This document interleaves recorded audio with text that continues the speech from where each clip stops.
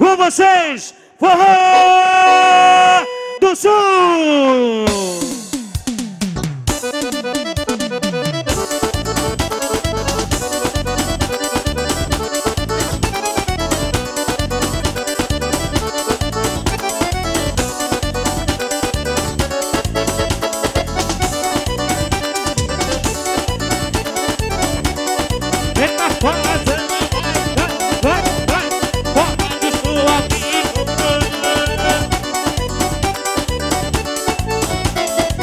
As amigas que tão doidinhas pra sair da